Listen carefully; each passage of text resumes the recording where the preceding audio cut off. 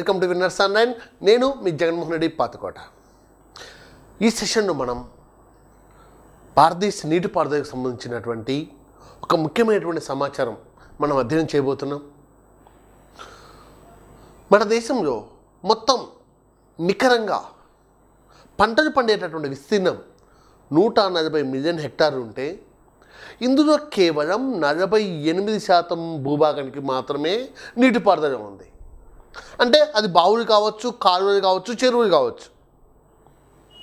అంటే దాదాపుగా ఇంకా సగం భూభాగానికి వాననే దిక్కు.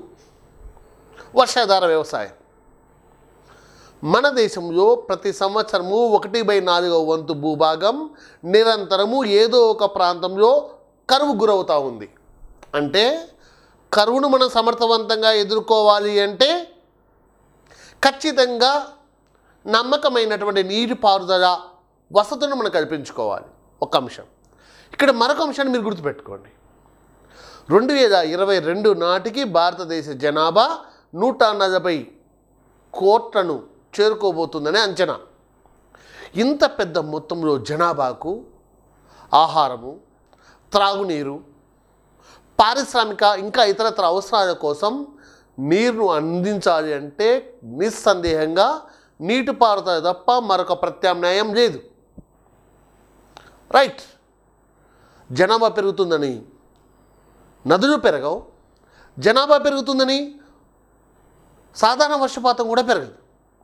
సో ఉన్నటువంటి వనరులను సమర్థవంతంగా వినియోగించుకోవడమే మన ముందు ఉన్నటువంటి పరిష్కార మార్గం. నీటిపారుదలను సాధారణంగా మనం మూడు రకాలుగా చెప్తూ ఉంటాం. బావులు కాలువలు చెరువులు అన్నటువంటి విధంగా చెప్తూ ఉంటాం. భారతదేశం మొత్తంలో మనం తీసుకున్నట్టయితే మొత్తం భూ అంతర్భుజలాన్ని లెక్కగడితే నాలుగు వందల ముప్పై రెండు బిలియన్ క్యూబిక్ మీటర్స్ బీసీఎంస్ అంటూ ఉంటాం తరచుగా వాటిని. టీఎంసీ అంటే trillion metric cubes billion cubic metres. మొత్తం భారతదేశంలో ఉన్నటువంటి అంతర్భుజాన్ని ఎక్కగడితే అది నాలుగు వందల ముప్పై రెండు బీసీఎంలుగా ఎక్కగట్టడం జరిగింది. ఇందులో మూడు వందల తొంభై తొమ్మిది బీసీఎంలను మనం వినియోగించుకోవచ్చు. రకరకాల అవసరాల కోసం.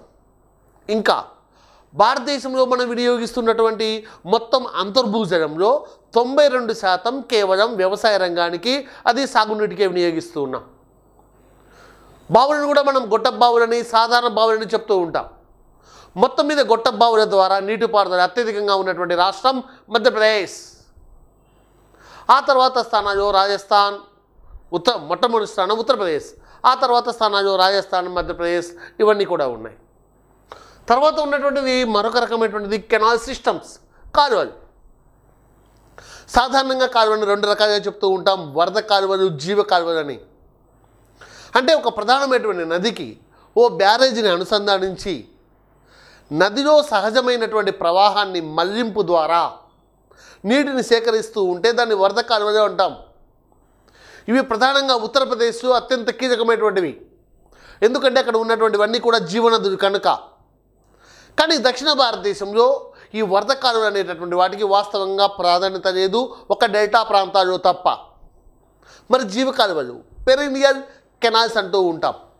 ఏంటి ఇక జీవ కాలువలు ఒక డ్యామ్కు అనుబంధంగా ఒక బ్యాలెన్సింగ్ రిజర్వాయర్కు అనుబంధంగా సిద్ధంగా ఉన్నటువంటి నీటిని తరలించడానికి నిర్మించుకుంటున్నటువంటి కాలువలని మనం జీవ కాలువలు పెరీనియల్ కెనాల్స్ అంటూ ఉంటాం.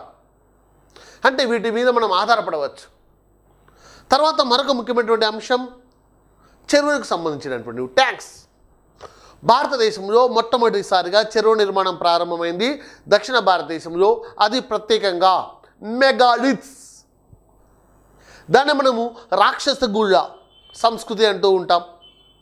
మెగాలిత్స్ ప్రత్యేకించి దక్కన ప్రాంతంలో మూడు వేల సంవత్సరాల క్రితం ఒక వెయ్యి బీసీ నాడు ప్రారంభమైనటువంటి ఇనుపయుగ నాగరికతలో భాగంగా ఆంధ్ర తెలంగాణ తమిళనాడు కర్ణాటక ప్రాంతాల్లో చెరువుల నిర్మాణం ప్రారంభమైంది.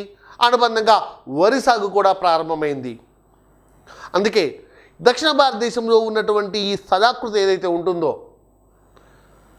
ఈ యొక్క మెటమార్ఫిక్ రాక్స్ స్ఫటికాకార రూపాంతర శిలలు ఏవైతే ఉంటాయో గ్రానైట్ యొక్క నిర్మాణం ఏదైతే ఉంటుందో అది చెరువుల నిర్మాణానికి అత్యంత ఉపయుక్తమైనటువంటిది. అందువలనే భారతదేశంలో అత్యధిక చెరువుల ద్వారా నీటిపారుదల అందుతున్నటువంటి రాష్ట్రం తమిళనాడు ఆ తర్వాత స్థానాలు ఆంధ్రప్రదేశ్ తెలంగాణ రాష్ట్రాలు ఉన్నాయి.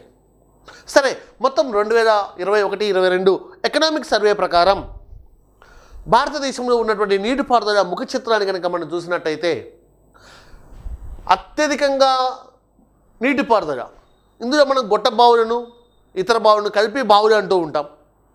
రెండవది కెనాల్ సిస్టమ్స్ మూడవది చెరువు సిస్టమ్. మొత్తం కలిపితే బావుల ద్వారా నీటిపారుదల ఉన్నటువంటిది ఏకాఏకిన అరవై రెండు శాతం ఉంటే కెనాల్స్ ద్వారా ఇరవై నాలుగు శాతం. ఒక్క బావుల ద్వారా అరవై రెండు శాతం అండి. కెనాల్స్ ద్వారా ఇరవై నాలుగు శాతం. అంటే ఒకటి బై నాలుగో వంతు. చెరువు ద్వారా అతి తక్కువ కేవలం రెండు పాయింట్ ఆరు శాతం మాత్రమే ఉంది. కానీ ఇతరత్రా ఉన్నాయి. అదర్స్ అంటే డ్రిప్ ఇరిగేషన్ కావచ్చు. లేకపోతే ఎక్కడైనా ఉన్నటువంటి ఒక సహజమైనటువంటి వాగు కానీ లేదా స్ప్రింగ్ కానీ ఆ హిమాలయ ప్ర హిమాలయ పర్వత ప్రాంతాల్లో ఉన్నటువంటి కుల్స్ మొదలైనటువంటి సాంప్రదాయబద్ధమైనటువంటి నీటిపారుదల విధానాల ద్వారా కూడా సాగునీరు అందించుకుంటున్నారు. వాటన్నిటి కలిపి మనం అదార్స్ ఇతరాలు అంటూ ఉంటాం. దాని ద్వారా ఒక పదకొండు శాతం. బావుల ద్వారా నీటిపారుదలలో ప్రత్యేకించి గొట్ట బావులలో అత్యధికంగా నీటిపారుదల ఉన్నటువంటి రాష్ట్రం ఉత్తరప్రదేశ్. అదే ఇతర రకాలైనటువంటి బావులను తీసుకున్నట్టయితే మధ్యప్రదేశ్. కానీ బాగా గుర్తుపెట్టుకోండి ఉత్తరప్రదేశ్ పదే పదే అడుగుతున్నాడు. అదేవిధంగా కాలువలు కెనాల్ సిస్టమ్స్ కూడా ఉత్తరప్రదేశే ప్రథమ స్థానంలో ఉంది. అంటే బావులు తీసుకున్నా కాలువలు తీసుకున్నా ఉత్తరప్రదేశ్ ఒక చెరువులు తీసుకుంటే మాత్రం తమిళనాడు రాష్ట్రం. అదర్ సోర్సెస్ తీసుకుంటే మాత్రం వెస్ట్ బెంగాల్. కానీ ఇక్కడ మనకు చిన్న డౌట్ వస్తుంటుంది. తెలంగాణకు ఇక్కడ ఆంధ్రప్రదేశ్కు మధ్య చెరువుల ద్వారా అన్నప్పుడు రెండవ స్థానంలో తమిళనాడు తర్వాత ఉన్నటువంటి రాష్ట్రం ఆంధ్రప్రదేశ్. రైట్ అన్ని రకాల బావుల ద్వారా తీసుకున్నట్టయితే ఉత్తరప్రదేశ్. కేవలం గొట్ట బావుల ద్వారా తీసుకున్నా కూడా ఉత్తరప్రదేశ్. ఇతర రకాల బావులు ఓపెన్ వెల్స్ అంటూ ఉంటాం. వాటి ద్వారా తీసుకున్నట్టయితే మనకు ఉన్నటువంటిది మధ్యప్రదేశ్ రాష్ట్రం. కెనాల్ సిస్టమ్స్ ద్వారా ఉత్తరప్రదేశ్ చెరువుల ద్వారా తమిళనాడు. ఇతర నీటిపారుదల విధానాన్ని కనుక మనం పరిశీలించినట్టయితే పశ్చిమ బెంగాల్ మొదటి స్థానంలో ఉండగా మరొక రెండు ముఖ్యమైనటువంటి అంశాలను మనం పరిగణలోకి తీసుకుందాం. నికర నీటిపారుదల స్థూల నీటిపారుదల నెట్ ఇరిగేటెడ్ గ్రాస్ ఇరిగేటెడ్. మనం వ్యవసాయం అన్నటువంటి చాప్టర్లో భాగంగా నికర సాగు భూమి స్థూల సాగు భూమి నిర్వహణలో ఉన్నటువంటి భూకమతాలు అన్నటువంటి పదాలు మనం పదే పదే చదువుకున్నాం. దాని యొక్క ప్రాధాన్యతను కూడా తెలుసుకున్నాం. నికర నీటిపారుదల నికర విస్తీర్ణం. భారతదేశంలో మొత్తం నికరంగా పంటలు పండించేటటువంటి భూభాగం నూట నలభై మిలియన్ హెక్టార్ ఉంది. నికరంగా. గతంలో సాగు చేయని భూములు సాగు రహిత భూములు ఇవన్నీ పోగా నికరంగా పంటలు పండిస్తున్నటువంటి భూమి ఒక ఖరీఫ్ సీజన్లో నూట నలభై మిలియన్ హెక్టార్ ఉంది. ఈ నూట నలభై మిలియన్ హెక్టార్ కాను మనం ఎంత మొత్తానికి నీటి అందిస్తున్నామో తెలుసా? అరవై ఎనిమిది మిలియన్ హెక్టార్కు నీటి అందిస్తున్నాం. అంటే కేవలం నలభై ఎనిమిది శాతం భూభాగానికి మాత్రమే నికరంగా మనం నీటిని అందిస్తున్నాం. ఆ నలభై ఎనిమిది శాతాన్నే మనము నికర నీటి పారుదల అంటున్నాం. Forty eight point seven three percentage very very important నికర సాగు విస్తీర్ణానికి నికరంగా నీరు అందిస్తున్నటువంటిది. Forty eight point seven four నూట నలభై మిలియన్లకు కాను అరవై ఎనిమిది మిలియన్ హెక్టార్కి అందిస్తున్నాం. అది కాకుండా నికర నీటిపారుదల అత్యధికంగా ఉన్నటువంటి రాష్ట్రాలు. ఇక్కడ మీరు బాగా గమనించండి. విస్తీర్ణం వేరవుతుంది శాతం వేరవుతుంది. నికర నీటిపారుదల కానీ స్థూల నీటిపారుదల కానీ నెంబర్ వన్ శాతం అని అడిగింది అనుకోండి నిస్సందేహంగా పంజాబ్ హర్యానా అండ్ ఉత్తరప్రదేశ్ మొదట పంజాబ్ రెండవది హర్యానా మూడవది ఉత్తరప్రదేశ్ పంజాబ్ వంద కొంచెం తక్కువ వంద. తొంభై తొమ్మిది పాయింట్ ఆరు శాతం అంటే very near to hundred percent దాని వెనకనే నేను ఉన్నాను అంటూ తొంభై తొమ్మిది పాయింట్ తొంభై ఆరు శాతంతో హర్యానా. ఆ తర్వాత మూడవ స్థానంలో ఉత్తరప్రదేశ్. శాతంలో. ఓకే పంజాబ్ హర్యానా ఉత్తరప్రదేశ్. నికర నీటిపారుదల తీసుకున్నా స్థూల నీటిపారుదల తీసుకున్నా net irrigated land gross irrigated land రెండు తీసుకున్నా కూడా. కానీ మొత్తం విస్తీర్ణం తీసుకున్నప్పుడు అంటే ఒక రాష్ట్రంలో ఉన్నటువంటి ఎంత భూభాగానికి ఎంత విస్తీర్ణంలో ఎన్ని హెక్టార్లకు నీటిపారుదలను అందిస్తున్నాం అని పరిగణలోకి తీసుకున్నప్పుడు మాత్రం మొదటి స్థానంలో ఉత్తరప్రదేశ్ ఉంటుంది. రెండు చో రెండు ప్రదేశాల్లో నికరలో కానీ స్థూలలో కానీ రెండు చోట్ల కూడా నెంబర్ వన్ ఉత్తరప్రదేశ్లో ఉంటుంది. ఓకేనా? ఇక్కడ ఉత్తరప్రదేశ్ ఉండే అక్కడ పంజాబ్ ఉంటుంది. రైట్ మరొకసారి చూద్దాం మనం. మొత్తం నికర నీటిపారుదల నేను ఇందాక చెప్పాను. నికర నిడిపారుదలలో నెంబర్ వన్ విస్తీర్ణంలో ఉన్నటువంటి రాష్ట్రం ఉత్తరప్రదేశ్. ఆ తర్వాత రెండవ స్థానంలో మధ్యప్రదేశ్ ఆ తర్వాత మూడవ స్థానంలో రాజస్థాన్. అక్కడ ఉన్నటువంటి barrages Ganga Yamuna canal systems. అదేవిధంగా మధ్యప్రదేశ్లో ఉన్నటువంటి విస్తారమైనటువంటి బావులు రాజస్థాన్లో ఉన్నటువంటి ఇందిరాగాంధీ కాల్వ అలాగే చమల్ ప్రాజెక్ట్. ఇవన్నీ కూడా దానికి కారణమవుతున్నాయి. శాతంలో తీసుకున్నట్టయితే పంజాబ్ హర్యానా ఉత్తరప్రదేశ్ రాష్ట్రాలు. ప్రత్యేకించి ఇక్కడ ఉన్నటువంటి బక్రనంగల్ ప్రాజెక్ట్. అంతేకాకుండా యమునా నది మీద ఉన్నటువంటి కెనాల్ సిస్టమ్స్ ఏవైతే ఉన్నాయో పశ్చిమ యమునా కెనాల్ పశ్చిమ యమునా కెనాల్ సర్హింద్ కెనాల్ మొదలైనటువంటివన్నీ కూడా ఇక్కడ నీటిపారుదల శాతం అది నికరైనా సరే స్థూలైనా సరే ఎక్కువగా ఉన్నాయి. అతి తక్కువగా ఉన్నటువంటి రాష్ట్రం ఈశాన్య రాష్ట్రాలు. అసోం మిజోరాం అండ్ సిక్కిం. అస్సాం ప్రాంతంలో అత్యధిక వర్షపాతం పడేటటువంటి ప్రాంతం. రెండు వందల సెంటీమీటర్ల కన్నా ఎక్కువ వర్షపాతం పడేటటువంటి ప్రాంతం. సో ప్రత్యేకించి ఇక్కడ నీటిపారుదల సదుపాయాన్ని కల్పించవలసినంత అవసరం లేనంత మొత్తంలో వర్షం పడుతూ ఉంది. అదేవిధంగా మిజోరాం ఆ తర్వాత ఉన్నటువంటి సిక్కిం సిక్కింలో వ్యవసాయం చాలా తక్కువగా ఉంది మరియు పర్వత ప్రాంతం. సో అస్సాంలో కేవలం ఆరు పాయింట్ ఐదు శాతం భూభాగానికి మాత్రమే నికర నీటిపారుదల ఉంది. ఆ తర్వాత రెండవ స్థానంలో మిజోరాం పర్వత ప్రాంతమైనటువంటి మిజోరాం. రైట్ ఆ తర్వాత ఉన్నటువంటిది స్థూల నీటిపారుదల గ్రాస్ ఇరిగేటెడ్ ల్యాండ్. మొత్తం భారతదేశం నేను ఇందాక నేను చెప్పాను నూట తొంభై ఒక్క మిలియన్ హెక్టార్ల స్థూల నీటిపారుదల భూమి ఉంది. అంటే ఒక సంవత్సర కాలంలో ఖరీఫ్ రబీ జయాద్ మూడు పంట కాలాల్లో కలిపి ఎంత మొత్తంలో మనం పంట పండిస్తున్నామో. దాన్ని స్థూల సాగు భూమి అంటాం. స్థూల సాగు భూమి కాను మన దేశంలో. Forty nine point eight four అంటే దాదాపుగా నలభై తొమ్మిది శాతం. వెరీ నియర్ టు ఫిఫ్టీ అనుకోండి. సాగు భూమికి మాత్రమే స్థూల నీటిపారుదల కలదు. అంటే ఖరీఫ్లోను రబీలోను జయాదులోను మూడు పంట కాలాల్లో మనం ఎంత మొత్తానికి నీటిపారుదలను అందిస్తున్నాం? దానిలో కూడా నెంబర్ వన్ ఎవరున్నారు అంటే నిస్సందేహంగా ఉత్తరప్రదేశ్ మధ్యప్రదేశ్ రాజస్థాన్. అందులో కూడా నెంబర్ వన్ స్థానాలు ఎవరున్నారు అంటే విశ శాతంలో తీసుకున్నట్టయితే పంజాబ్ హర్యానా అండ్ ఉత్తరప్రదేశ్. రైట్. నికర నీటిపారుదలలోను స్థూల నీటిపారుదలలోను రెండు విధాలుగా. శాతంలో తీసుకుంటేనేమో పంజాబ్ హర్యానా రాజస్థాన్ పంజాబ్ హర్యానా ఉత్తరప్రదేశ్. మొత్తం విస్తీర్ణంలో తీసుకున్నట్టయితేనేమో ఉత్తరప్రదేశ్ మధ్యప్రదేశ్ అండ్ రాజస్థాన్. ఈ అంశాన్ని జాగ్రత్త గుర్తుపెట్టుకోండి. దత్తాంశాలు కూడా అడగడానికి అవకాశం ఉంది. నేను చెప్పినటువంటిది. నికర సాగు భూమి శాతం ఎంత? స్థూల సారీ నికర నీటిపారుదల విస్తీర్ణం ఎంత? స్థూల నీటిపారుదల విస్తీర్ణం యొక్క శాతం ఎంత అని అడగడానికి అవకాశం ఉంది. నెక్స్ట్ వన్ నీటిపారుదల ప్రాజెక్టు వర్గీకరణ. సాధారణంగా నీటిపారుదల ప్రాజెక్టులను మనం చిన్న తరగతిలో మూడు రకాలుగా చెప్పుకుంటూ ఉన్నాం. ఇప్పుడు కొంచెం ఎక్కువ యాడ్ చేసుకుంటూ నాలుగు తీసుకుంటున్నాం. భారీ తరహా మధ్య తరహా చిన్న తరహా మైక్రో భారీ major major projects major medium minor and micro పదివేల హెక్టార్ల కన్నా ఎక్కువ ఆయకట్టు ఉండి పదివేల హెక్టార్ల కన్నా ఎక్కువ భూభాగానికి ఎక్కువ వ్యవసాయ భూమికి నీటిని అందిస్తూ ఉంటే దాన్ని బోరీ ప్రాజెక్ట్స్ మెజర్ ఇరిగేషన్ ప్రాజెక్ట్స్ అంటాం. మీడియం రెండు వేల నుంచి పదివేల హెక్టార్ల మధ్యలో ఉంటే రెండు వేల నుంచి పదివేల హెక్టార్ల మధ్యలో ఉంటే వాటిని మీడియం ప్రాజెక్ట్స్ అంటాం. రెండు వేల కన్నా తక్కువగా ఉంటే అప్పుడు వాటిని మనం minor projects minor. Major medium minor. ఇవి కాకుండా మైక్రో. మైక్రో అంటే యొక్క డ్రిప్ ఇరిగేషన్ కానీ స్ప్రింక్లర్స్ కానీ వాటిని మనం మైక్రో ఇరిగేషన్ ప్రాజెక్ట్స్ అంటూ ఉంటాం.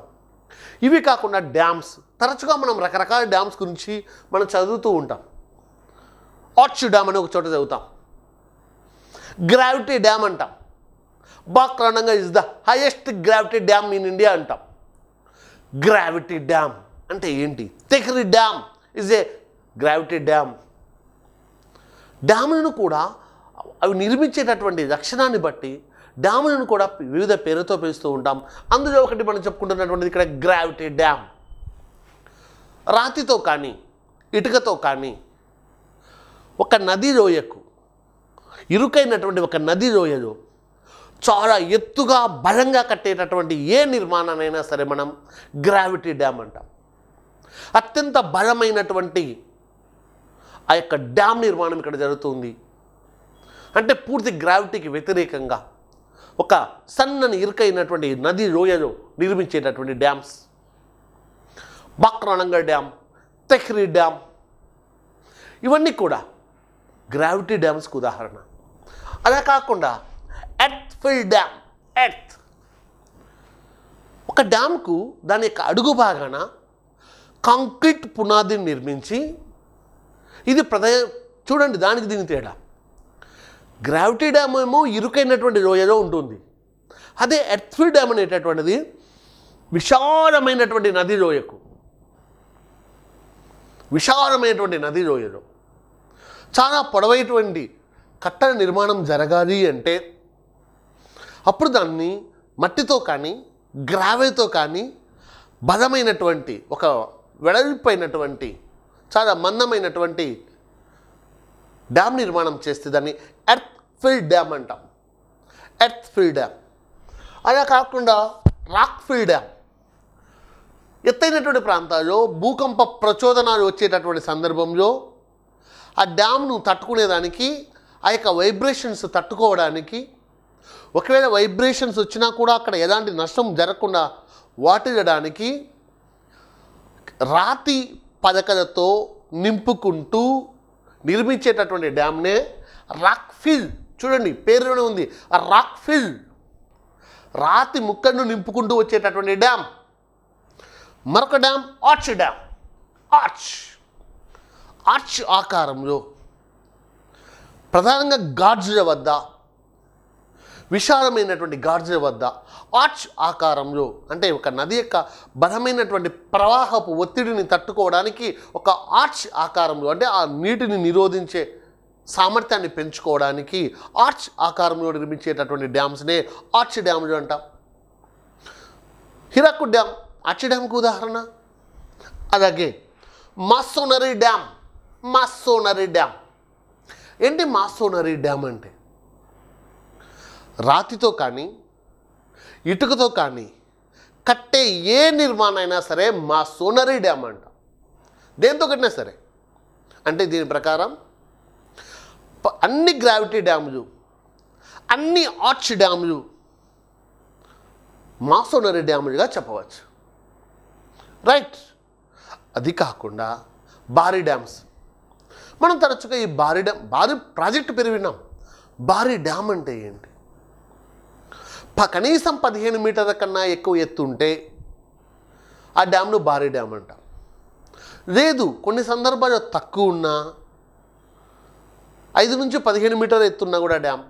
కనీసం దాని యొక్క నీటి నిల్వ సామర్థ్యం మూడు మిలియన్ క్యూబిక్ మీటర్ల కన్నా ఎక్కువ ఉంటే అప్పుడు దాన్ని భారీ డ్యామ్ అని కూడా అంటాం. మొత్తం భారతదేశంలో రెండు వేల ఇరవై ఒకటి చివరి నాటికి ఐదు వేల ఏడు వందల నలభై ఐదు భారీ డ్యాములు ఉంటే అత్యధికంగా మహారాష్ట్ర మధ్యప్రదేశ్ మరియు గుజరాత్ రాష్ట్రాల్లో ఉన్నాయి. అంటే అత్యధికంగా భారీ డ్యాములు ఉన్నటువంటి రాష్ట్రం మహారాష్ట్ర. రెండవ స్థానం మధ్యప్రదేశ్. చూడండి. ఈ రెండు రాష్ట్రాలు అత్యధిక డ్యాములను కలిగి ఉన్నాయి. అత్యధిక భారీ డ్యాములను కలిగి ఉన్నాయి. మొత్తం ఐదు వేల ఏడు వందల నలభై ఐదు డ్యాములలో అత్యధికంగా ఇక్కడే ఉన్నాయి. రైట్ తర్వాత ఉన్నటువంటి మరొక అంశం మనం ఎగ్జామ్ పాయింట్ ఆఫ్ వ్యూలో అడుగుతూ ఉంటాడు మనకు. ఇప్పుడు నేను చెప్పేటటువంటి అంశం మీద. డ్యాములను వాటి ఎత్తు ప్రకారం చాలా పెద్దవి. నిల్వ సామర్థ్యం. వాటర్ దాని వెనుక నిలబడినటువంటి వాటర్ రిజర్వాయర్ కెపాసిటీ ఆధారంగా పెద్ద డ్యామ్స్. వాటి యొక్క పొడవు ఆధారంగా పెద్ద డ్యామ్స్. ప్రామాణికమైనటువంటి సమాచారాన్ని నేను మీకు చెప్తాను ఇక్కడ. భారతదేశంలో నీటి నిల్వ సామర్థ్యం ఆధారంగా స్టోరేజ్ కెపాసిటీ ఆధారంగా భారతదేశంలో అతి పెద్ద డ్యామ్ నర్మదా సాగర్ డ్యామ్ పన్నెండు పాయింట్ రెండు మి బిలియన్ క్యూబిక్ మీటర్స్. చాలా పెద్ద మొత్తం అండి. పన్నెండు పాయింట్ రెండు బిలియన్ క్యూబిక్ మీటర్స్ నర్మదా నది మీద నిర్మించినటువంటి Narmada Sagar dam Indira Sagar dam Indira Sagar dam. రెండవది నాగార్జున సాగర్ డ్యామ్ పదకొండు పాయింట్ ఐదు ఆరు బిలియన్ క్యూబిక్ మీటర్స్ ఉన్నటువంటిది. మూడవది Pong and Beas dam. Pong and Beas dam. Beas నది మీద నిర్మించబడినటువంటి డ్యామ్. మొదటిది నర్మదా నది మీద ఉన్నటువంటి ఇందిరాసాగర్. రెండవది నాగార్జున సాగర్. మూడవది Pong and Beas dam. Backwaters ఆధారంగా ఆ యొక్క నీటి నిల్వ సామర్థ్యం ఆధారంగా డ్యామ్ యొక్క పొడవు ఆధారంగా తీసుకున్నాం అనుకోండి అప్పుడు మనకు అంటే చిన్న పెద్ద కట్టాలు అన్నీ కలిపితే. అప్పుడు మనకు పెద్దగా ఉన్నటువంటిది శ్రీరామ్ సాగర్ ప్రాజెక్ట్. మన తెలంగాణ ప్రాంతంలో గోదావరి నది మీద ఉన్నటువంటి శ్రీరామ్ సాగర్ ప్రాజెక్ట్. దాన్ని మనం పోచంపాడు ప్రాజెక్ట్ అని కూడా పిలుస్తాం. పోచంపాడు ప్రాజెక్ట్ అని కూడా పిలుస్తూ ఉంటాం. మన తెలంగాణలో ఉన్నటువంటిది ఇదే పొడవైనటువంటి ఆనకట్ట కలిగినటువంటి అంటే ప్రధానమైనటువంటిదే కాదు ఇతర ఆనకట్టలను కూడా కలిపి. తర్వాత రెండవది కంగ్స్బతి ప్రాజెక్టు పశ్చిమంగా. కసాయి నది మీద. కంగ్స్బతి ప్రాజెక్ట్. పదకొండు వేల రెండు వందల డెబ్బై మీటర్. అదే శ్రీరామ్ సాగర్ అయితే ఏకంగా పదిహేను పాయింట్ ఆరు కిలోమీటర్ల పొడవు ఉన్నటువంటిది. తర్వాత ఉన్నటువంటిది రాజ్ఘాట్ డ్యామ్. మధ్యప్రదేశ్ రాష్ట్రంలో బెట్వా నది మీద నిర్మించబడినటువంటి రాజ్గా డ్యామ్. ఓకే పొడవు ఆధారంగా శ్రీరామ్ సాగర్ కంగ్స్పతి రాజ్ఘాట్ డ్యామ్. ఎత్తు ఆధారంగా తీసుకున్నట్టయితే డ్యామ్ యొక్క ఎత్తు ఆధారంగా పునాది నుండి బేస్ నుంచి తీసుకున్నట్టయితే పునాది మీద నుండి తీసుకున్నట్టయితే నెంబర్ వన్ తెహ్రీ డ్యామ్ రెండు వందల అరవై పాయింట్ ఐదు మీటర్ ఆ తర్వాత రెండవ స్థానంలో ఉన్నటువంటిది లక్వర్ డ్యామ్ ఉత్తరప్రదేశ్ యమునా నది మీద లక్వర్ డ్యామ్. మూడవది ఇడుక్కి డ్యామ్ కేరళ. ఆ తర్వాత నాలుగో స్థానంలో ఉన్నటువంటిది బాక్రా డ్యామ్. తేడా చూడండి. The first one Tehri dam Uttarakhand రాష్ట్రంలో భగీరథి నది మీద నిర్మించబడినటువంటిది. రెండు వందల అరవై పాయింట్ ఐదు మీటర్ ఎత్తున్నటువంటిది ఆ తర్వాత రెండు వందల నాలుగు మీటర్ ఎత్తున్నటువంటి రక్వర్ డ్యామ్. యమునా నది మీద ఉత్తరాఖండ్లో. ఇడుక్కి డ్యామ్ కేరళ మూడవది. ఆ తర్వాత బాక్రా డ్యామ్. హిమాచల్ ప్రదేశ్ రాష్ట్రంలో బాక్రా నంగల్ ప్రాజెక్టులో మొదటిదైనటువంటి బాక్రా డ్యామ్ సట్లెజ్ నది మీద నిర్మించబడినటువంటిది. రైట్ ఇవి ప్రధానమైనటువంటి డ్యామ్స్. ఇవి కాకుండా కొన్ని ముఖ్యమైనటువంటి కాలువ వ్యవస్థకు సంబంధించినటువంటి సమాచారం తీసుకున్న తర్వాత భారతదేశంలో ఉన్నటువంటి ముఖ్యమైనటువంటి మల్టీపర్పస్ ప్రాజెక్ట్ సంబంధించినటువంటి సమాచారం తీసుకుందాం. ముందు మనం మొదటగా కొన్ని ముఖ్యమైనటువంటి కాలువలు. ఎగువ గంగా కాలువ అప్పర్ గంగటిక్ కెనాల్ అది ఏ రాష్ట్రంలో ఉంటుంది? ఏ నది మీద ఉంటుంది? ఇంపార్టెంట్ అంశం ఏంటిది? అప్పర్ గ్యాంగటిక్ పేరునే ఉంది అప్పర్ గంగా. సో గంగా నది మీద. అది ఎక్కడి నుంచి ప్రారంభమవుతుంది? భీమ్గోడా బ్యారేజ్. భీమ్గోడా బ్యారేజ్. గంగా యమునా నదుల మధ్య ఉన్నటువంటి అంతర్వేది ప్రాంతానికి గంగా యమున డోబ్కు నీటిపారుదలను అందిస్తుంది. ఈ యొక్క అప్పర్ గంగెస్ కెనాల్. తర్వాత ఉన్నటువంటిది దిగువ గంగా కాలువ. ఇది ఉత్తరప్రదేశ్లో ఉన్నటువంటి నరోరా వద్ద ప్రారంభమవుతుంది గంగా నది మీదనే. తర్వాత ఉన్నటువంటిది eastern Yamuna canal. Eastern Yamuna canal Yamuna నది మీద ఫైజాబాద్. ఈస్టర్న్ యమునా కెనాల్ ఢిల్లీ పరిసర ప్రాంతాలకు నీటి పారుదలను అందిస్తూ ఉంటుంది. ఆ తర్వాత ఉన్నటువంటిది అగ్రా కెనాల్. యమునా నది మీద ఓక్లా వద్ద ప్రారంభమవుతుంది బ్యారేజ్ వద్ద. ఓక్లా వద్ద. ఆ తర్వాత ఉన్నటువంటిది శారదా కాల్వ. ఉత్తరప్రదేశ్ రాష్ట్రంలో శారదా నది మీద బన్బాసా వద్ద ప్రారంభమవుతుంది. అంతేకాకుండా ఉత్తరప్రదేశ్లో అత్యంత పొడవైనటువంటి కాలువ యొక్క శారదా కాలువ. బన్బాసా వద్ద very very important very very important ఉత్తరప్రదేశ్లో అత్యంత పొడవైనటువంటి కాలువ యొక్క శారదా కెనాల్. ఆ తర్వాత ఉన్నటువంటిది బెట్వా కెనాల్. బెట్వా నది మీద మధ్యప్రదేశ్ రాష్ట్రంలో ప్రత్యేకించి బుందేల్ఖండ్ ప్రాంతానికి నీటిపారుదలను అందించేటటువంటి ప్రాజెక్ట్ ఇక బెట్వా కెనాల్. తర్వాత ఉన్నటువంటివి పంజాబ్ హర్యానాలో ఉన్నటువంటి కెనాల్ సిస్టమ్స్. మొట్టమొదటిది సర్హింద్ కెనాల్ అత్యంత పురాతనమైనటువంటి కాలువ. సర్హింద్ కెనాల్ సట్లెజ్ నది మీద. పంజాబ్లో ఉన్నటువంటి రోపార్ వద్ద ప్రారంభమవుతుంది. పంజాబ్ హర్యానా రాష్ట్రాలకు ఇది నీటిని అందిస్తూ ఉంటుంది. ఇక సర్హింద్ కెనాల్. తర్వాత ఉన్నటువంటి బాక్రా కాల్వ. సట్లెజ్ నది మీద. బక్రా నంగల్ డ్యామ్ నుండి ప్రారంభమవుతుంది. పంజాబ్ హర్యానా రాజస్థాన్. అత్యంత ప్రధానమైనటువంటి ఆ యొక్క బక్రా కెనాల్ బక్రా ప్రాజెక్ట్ నుంచి ప్రారంభమవుతూ ఉంటుంది. Bist Doab canal Bist Beas and Sutlej. మధ్య ఉన్నటువంటి ప్రాంతాన్ని మనం బిస్త్ డోబ్ అన్నాం. బిస్త్ డోబ్ కెనాల్ సట్రేజ్ వద్ద సట్రేజ్ నది మీద ఉన్నటువంటి రోపార్ వద్ద ప్రారంభమవుతుంది ఇది కూడా. ఆ యొక్క డో ప్రాంతానికి ఇది నీటి అందిస్తూ ఉంటుంది. తర్వాత ఉన్నటువంటిది upper Bari Doab upper Bari Doab Beas and Ravi so ఆటోమేటిక్గా అప్పర్ బ్యారీ రావి నది మీద. మథోపూర్ వద్ద. పఠాన్కోట్లో ఉన్నటువంటి మధోపూర్ వద్ద.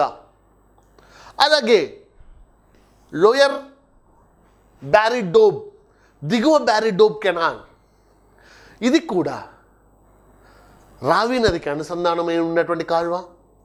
ఇది కూడా మథోపూర్ మధోపూర్ వద్ద ప్రారంభమవుతుంది. పంజాబ్లో ఉన్నటువంటి అనేక ప్రాంతాలకు పంజాబ్లో ఉన్నటువంటి ఎగువ ప్రాంతమైనటువంటి అమృత్సర్ కపూర్తలా మొదలైనటువంటి ప్రాంతాలకు నీటిపారుదలను అందిస్తుంది ఇది. తర్వాత ఉన్నటువంటిది నంగల్ కాలువ. బక్రనంగల్లో రెండవ బ్యారేజ్ అయినటువంటి బక్రా ఉన్నటువంటి నంగల్ ప్రాజెక్టులో భాగమైనటువంటి యొక్క కాలువ నంగల్ ప్రాజెక్టు నుంచి ప్రారంభమవుతుంది. ప్రత్యేకించి పంజాబ్ హర్యానా ప్రాంతాలకు రాజస్థాన్కు నీటిపారుదల అందిస్తుంది. పశ్చిమ యమునా కాలువ యమునా నది వద్ద తాజేవాన్ వద్ద తాజేవాలా తాజేవాలా వద్ద ప్రారంభమవుతుంది. ఇక వెస్ట్రన్ యమునా కెనాల్ ప్రత్యేకించి హర్యానా ప్రాంతానికి ఉపయోగపడుతుంది. ఫిరోజ్ షా తుగ్లక్ కాలం నాటికి సంబంధించినటువంటి కాలువ వ్యవస్థ ఇది. గుర్గాన్ కెనాల్ గుర్గాన్. ఒక్లా వద్ద ప్రారంభమవుతుంది యమునా నది మీద. ఒక్లా బ్యారేజ్ నుండి. అదేవిధంగా సట్లేజ్ యమునా అనుసంధాన కాలువ. Sutlej Yamuna link canal. ఇది సట్లేజ్ నది మీద ఉన్నటువంటి బక్రా నంగల్ బ్యారేజ్ వద్ద నుండి నంగల్ బ్యారేజ్ వద్ద నుండి ప్రారంభమవుతుంది. ఈ కెనాల్ హర్యానాకు ప్రత్యేకంగా ఇది ఉపయోగపడుతూ ఉంటుంది. తర్వాత రాజస్థాన్లో ఉన్నటువంటి ముఖ్యమైనటువంటి కాలువలో గంగా ఆర్ గాంగ్ ఆర్ బికనేర్ కాలువ. ప్రత్యేకించి బికనేర్ ప్రాంతానికి సట్లేజ్ నది నీటిని అందించేటటువంటి కాలువ ఇది. మృతప్రాయమైనటువంటి ఆ బికనేర్ ప్రాంతానికి ప్రాణం పోసినటువంటి కాలువగా చెప్తూ ఉంటారు. ఇక గాంగ్ ఆర్ బికనేర్ కెనాల్. ఇది పంజాబ్లో ఉన్నటువంటి ఫిరోజ్పూర్ వద్ద ప్రారంభమవుతుంది. పంజాబ్లో ఉన్నటువంటి ఫిరోజ్పూర్ వద్ద తర్వాత ఉన్నటువంటి అత్యంత ముఖ్యమైనటువంటి కాలువ భారతదేశంలోనే అత్యంత పొడవైనటువంటి కాలువ ఇందిరాగాంధీ కెనాల్. దాన్ని రాజస్థాన్ కెనాల్ అంటాం. దాన్ని మరుగంగా మరు మరుభూమి గుండా మరుస్థలి. ఏంటి మరుస్థలి ఏంటి రాజస్థాన్ యొక్క పశ్చిమ భాగాన్ని మనం మరుస్థలి అని పదే పదే నేర్చుకున్నాం. ఆ మరుస్థలి గుండా గంగా ప్రవహిస్తుంది. మరుగంగా. Lifeline of Rajasthan. రాజస్థాన్ యొక్క జీవనధార. అని కూడా పిలుస్తారు. ఈ యొక్క రాజస్థాన్ కెనాల్ను. వెరీ వెరీ ఇంపార్టెంట్ అండి. భారతదేశంలో అత్యంత పొడవైనటువంటి కాలువ. నాలుగు వందల నలభై ఐదు కిలోమీటర్ల ప్రధానమైనటువంటి మెయిన్ కెనాల్ ఇది హారికే బ్యారేజ్ వద్ద. పంజాబ్లో ఉన్నటువంటి హర్కే బ్యారేజ్ వద్ద ప్రారంభమవుతుంది. సట్లేజ్ నది నీటి మీద ఆధారపడకుండా బియాస్ నది నీటిని బియాస్ నది నీటిని హార్కే బ్యారేజ్ వద్ద నుండి ఇందిరాగాంధీ కెనాల్కు నీటిని అందిస్తారు. వెరీ వెరీ ఇంపార్టెంట్ అంతేకాదు ఇది మొత్తం ఎనిమిది జిజాలకు నీటిని అందిస్తుంది. కారు ఉండేది ఏడు జిల్లాల్లోనే. గంగానగర్ హనుమాన్ నగర్ బికనేర్ జోధ్పూర్ జైసల్మీర్ చురు బర్మార్ ఏడు జిల్లాలు కాలువ ఉంటుంది. ఏడు జిల్లాలు ఆపడతాయి పక్కనే ఉన్నటువంటి నాగౌర్ జిల్లాలో ప్రధాన కాలువ లేకపోయి ఉన్నప్పటికీ అనుబంధ కాలువ ద్వారా దానికి కూడా కొంత నీటిపారుదల అందించడం జరుగుతూ ఉంటుంది. వెరీ వెరీ స్పెషల్ ఈ యొక్క ఇందిరాగాంధీ కెనాల్. హర్కే బ్యారేజ్ వద్ద ప్రారంభమవుతుంది. వినియోగించుకునే నీరు మాత్రం బియాస్ నది నీటిని వినియోగించుకుంటాం. Very special Indira Gandhi canal. ఆ తర్వాత ఉన్నటువంటిది మనకు జువాయ్ కాల్వ లూనీ నది యొక్క ఉపనది. ఆ ఉపనది మీద నిర్మించబడినటువంటి ఒక చిన్న కాల్వ జువాయ్ కాల్వ బాలి అనే ప్రదేశం నుంచి ప్రారంభమవుతుంది. ఆ తర్వాత ఉన్నటువంటిది చంబల్ కెనాల్. చంబల్ ప్రాజెక్టు నుంచి మనం మూడు బ్యారేజెస్ మూడు డ్యామ్స్ నిర్మించుకున్నాం. గాంధీ సాగర్ రాణా ప్రతాప్ సాగర్ జవహర్ సాగర్ మరియు కోటా బ్యారేజ్. ఈ డ్యామ్ల నుంచి బ్యారేజీ బ్యారేజ్ నుండి ప్రారంభమయ్యేటటువంటి అనేక కాలువల వ్యవస్థని మనం చంబల్ కెనాల్ సిస్టమ్స్ అంటున్నాం. ఇది మధ్యప్రదేశ్ మరియు రాజస్థాన్ ప్రాంతానికి నీటిని అందిస్తాయి. ఆ తర్వాత ఉన్నటువంటిది గండక్ కెనాల్ ఉత్తరప్రదేశ్లో ఉన్నటువంటి గండక్ నది మీద. అది కూడా మనకు గండక్ ప్రాజెక్ట్ నుంచి ఇది ప్రారంభమవుతుంది. సోన్ ఇది కూడా ఉత్తరప్రదేశ్లో మరియు మ- మధ్యప్రదేశ్ ప్రాంతానికి అందించేటటువంటి సోన్ కెనాల్ సిస్టమ్. తర్వాత కోసి కాలు వ్యవస్థ ఇది బీహార్లో ఉంటుంది. కోసి బీహార్ గండక్ కూడా బీహార్లో ఉంటుంది. కోసి ప్రాజెక్ట్ ఆ తర్వాత ఉన్నటువంటి మనకు పశ్చిమ బెంగాల్లో ఉన్నటువంటి మయూరాక్షి కెనాల్ మయూరాక్షి నది పైన. అదేవిధంగా కంగ్స్పతి కసాయి నది పైన. దాన్ని కంగ్స్పతి నది అని కూడా అంటుంటాం కసాయి నది అని కూడా అంటూ ఉంటాం దాని మీద నిర్మించబడినటువంటి కంగ్స్పతి డ్యామ్ కంగ్స్పతి డ్యామ్ వద్ద ప్రారంభమయ్యేటటువంటి నిర్మాణం ఈ యొక్క కంగ్స్పతి కాలువ వ్యవస్థ. ఇవి మనకు భారతదేశంలో సంబంధించినటువంటి కొన్ని ప్రధానమైనటువంటి కాలువలు తీసుకున్నాం. ఇవి కాకుండా బహుళార్థక సాధక పథకాలు మల్టీపర్పస్ ప్రాజెక్ట్ చెప్పుకుంటూ వాటిలో భాగంగా మనం మరికొన్ని కాలువ వ్యవస్థలు భారతదేశంలో ముఖ్యమైనటువంటి ప్రాజెక్ట్స్ మరియు నీటిపారుదల ప్రాజెక్టు సంబంధించినటువంటి సమాచారం మనం నెక్స్ట్ సెషన్లో తీసుకుందాం. Thank you. Thank you very much.